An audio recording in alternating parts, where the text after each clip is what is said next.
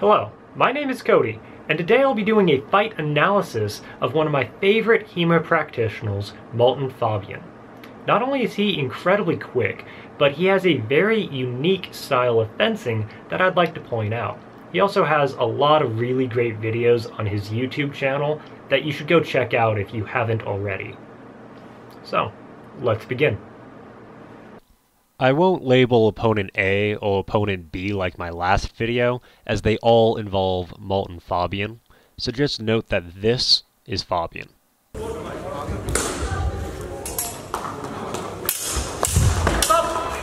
Now, we see Fabian go into long and alt, then he waves his point towards his opponent, kinda offering it as bait. The opponent takes the bait, cutting at Fabian's sword in an attempt to displace it. Fabian remains strong in the bind, while his opponent leaves the bind in order to Zwerch. Fabian goes high into what almost looks like hanging. When the opponent's strike lands, Fabian goes weak in the bind, and his sword is propelled around like a helicopter blade, where it hits the opponent's head.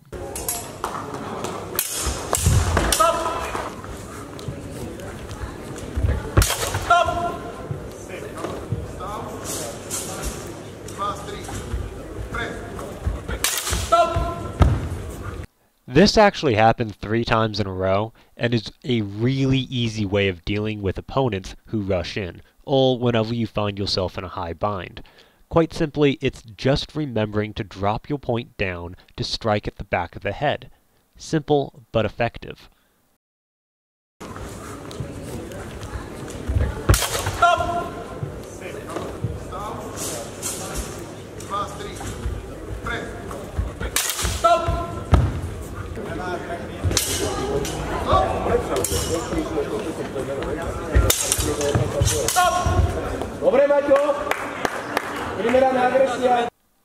We also get to see the counter to the last play of dropping the point down to the back of the head when in a high bind.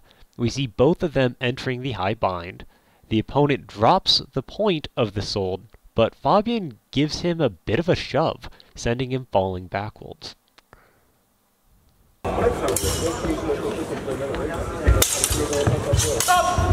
Dobre,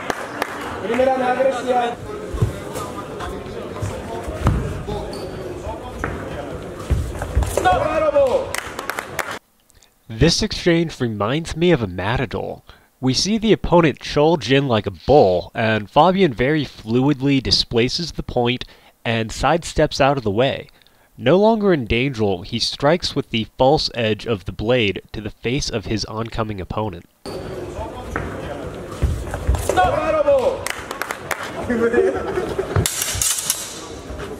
Dobre, dobre, poď ešte. Eh? Dobrá, super. Nothing complex with this one, I just like the thrust. We see Fabian taking a low guard, maybe elbow, as he gets back into range, before he lunges forward with the thrust. The important thing to note is that he raises his quillions high in order to protect his head from an incoming strike. Dobre, dobre. Dobrá, super.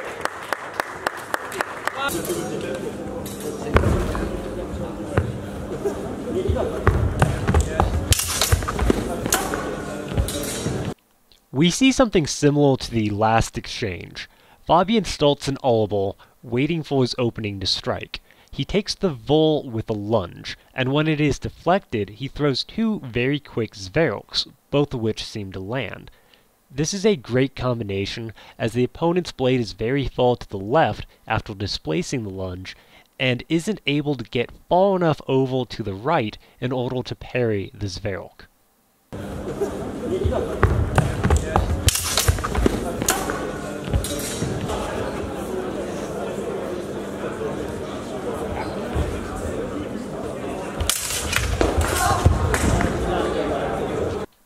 This exchange speaks for itself, but again you see a very strong shove from Fabian when entering a high and close bind.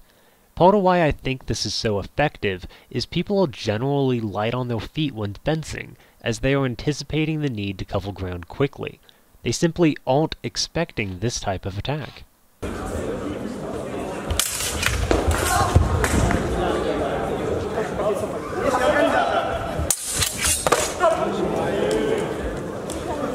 We see the opponent take the Vol with an Overhau, which is caught on Fabian's Quillions. Fabian attempts what looks like a Mutieren, but the opponent is too strong in the bind for it to be effective. Fabian then leaves the bind for Zwerch, which lands on the side of the head. You can see that Fabian uses only a handful of techniques, but he does them very well.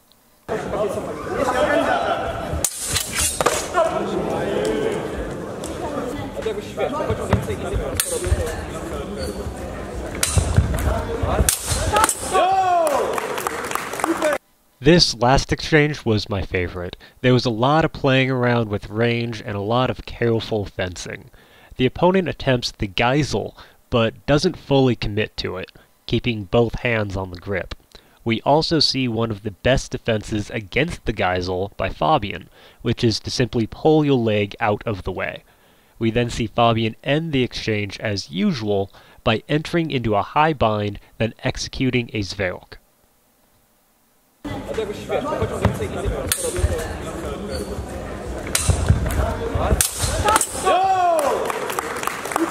I hope you were able to see some of the reoccurring themes in Martin Fabian's style of fencing, such as leading with the point and making effective use of this Zwerch. Maybe you can apply some of these into your own fencing. Now, Martin Fabian is one of my favorite HEMA practitioners, but let me know who yours might be in the comments section below, as well as what you thought of the video. Vi sont la